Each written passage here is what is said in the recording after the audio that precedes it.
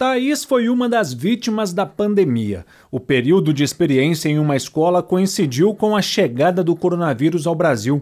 As aulas foram suspensas e ela demitida. Eu amei trabalhar lá todo esse tempo e quando me demitiu, ela falou assim que eu estava saindo pela porta da frente, que assim que tivesse uma outra oportunidade ela me chamaria, mas enfim.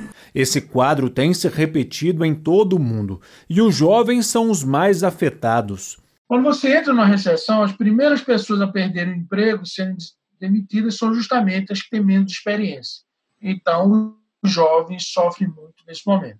Mais do que já é normal, já é o padrão que eles sofram com desemprego. Dados da Organização Internacional do Trabalho apontam que um em cada seis jovens perdeu o emprego durante a pandemia. Os que conseguiram se manter empregados tiveram redução média de 23% na jornada de trabalho e, consequentemente, no salário. Além dos problemas econômicos atuais, a demissão de jovens pode complicar um problema antigo no país. O país está envelhecendo, né? então você vai ter, mesmo com essa reforma da Previdência agora, né?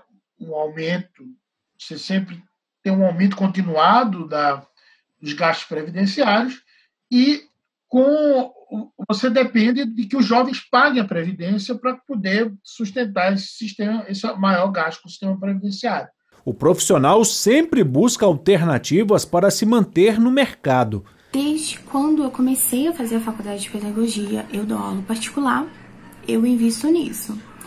E isso é o que tem me assegurado no, durante essa pandemia, durante essa crise mesmo mas é necessário que medidas mais efetivas sejam tomadas. O que o Brasil precisa é voltar a crescer, e para voltar a crescer, e aí gerar um aumento do emprego de todos, inclusive dos jovens, para voltar a crescer, precisa de investimentos públicos, precisa de políticas para a elevação da, da, do consumo das famílias.